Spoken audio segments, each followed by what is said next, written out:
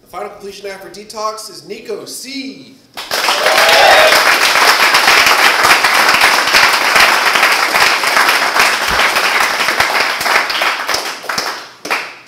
I want to first thank every, uh, the counselors up at Detox for um, making me feel welcome when I came here because I was extremely scared. I didn't want to come at all, but I did come just because I, need, I knew I needed the help. I want to uh, also thank my mom and dad for adopting me from the slums of Chile in 1995 because without them I wouldn't even have this opportunity in the first place.